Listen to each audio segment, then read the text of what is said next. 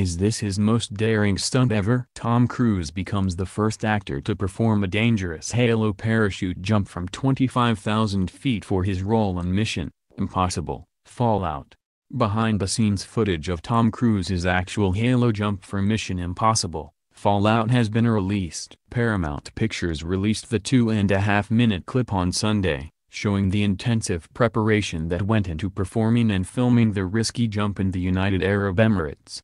Cruise, who often performs his own stunts, is believed to be the first actor to do a halo jump for a movie. The military technique stands for high altitude, low open, and Cruise jumped from 25,000 feet requiring an oxygen mask to stay conscious. To prepare for the stunt, the studio built a giant wind tunnel for rehearsals. To prevent Cruise from passing out, the crew built a special breathing mask prop that was functional for the jump. The scene was filmed by a cameraman wearing a head-mounted camera who jumped a few feet before Cruise, making it crucial to avoid a mid-air collision.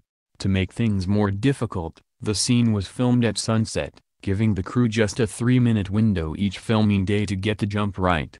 In the end, the entire scene lasts just half a dozen seconds in the new movie, the sixth installment in the franchise. Cruise successfully pulled off the halo jump with no mishaps, but wasn't so lucky on another stunt, when he broke his ankle jumping from one building to another.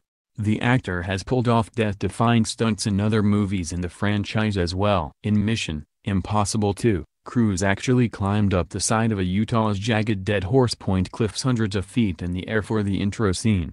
In Ghost Protocol, he scaled the Burj Khalifa in Dubai, the world's tallest building, with suction cups. And in Mission, Impossible Rogue Nation, Cruise clung to the side of an Airbus A400M Atlas military transport while the plane took off over England.